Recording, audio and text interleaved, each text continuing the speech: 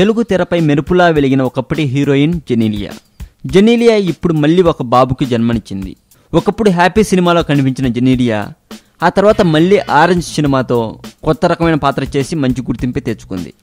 అయితే అప్పటికే బాలీవుడ్ యాక్టర్ రితేష్ దేశ్ముఖ్తో ప్రేమలో ఉన్న జెనీలియా ఆ తర్వాత పది సంవత్సరాలకి వాళ్ళ ప్రేమకి విముక్తి కలిగి పెళ్ళి కూడా చేసుకున్నారు. అయితే ఇప్పటికే ఒక బాబు ఉన్న వీళ్ళకి మళ్ళీ ఒక బాబు పుట్టినట్లు సమాచారం. ట్విట్టర్లో జెనీలియా ట్వీట్ కూడా పెట్టారండి ఈ విషయంపై. జెనీలియా ఈ విధంగా ట్వీట్ పెట్టారు. Thank you God for blessing me much more than I deserve అంటూ నిన్ననే ట్వీట్ చేసింది జెనీలియా. ఇప్పటికే వీళ్ళ జంట చాలా ముచ్చటగా ఉంటుంది అన్యోన్య దంపతులు అని పేరు కూడా ఉంది. ఈ వీడియో మీకు నచ్చినట్లయితే లైక్ చేయండి షేర్ చేయండి. ఈ వీడియో మీద మీ కామెంట్ కూడా పోస్ట్ చేయవచ్చు.